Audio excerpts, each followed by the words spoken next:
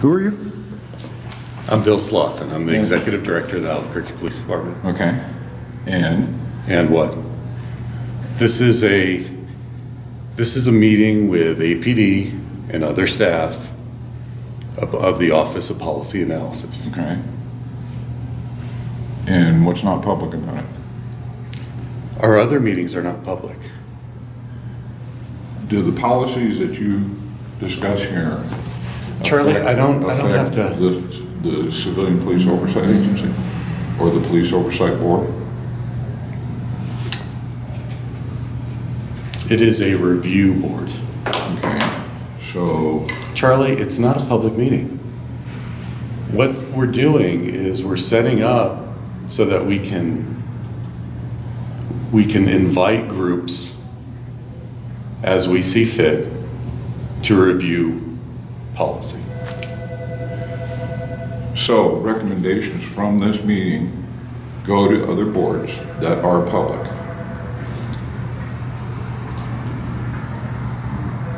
Other boards and commissions that are public. No? Well, you just said that you're sitting here coming up with, The CPO, the CPOA and a member of the POB are, um, they are members of the board, uh, of this Office of this- Policy Analysis. Okay. Yeah. okay. And, And they're gonna provide input, just like when we invite, just like when we invite groups to give opinion and review a policy. okay, But what, this is what's gonna happen, okay? If you record, I'm gonna cancel. okay.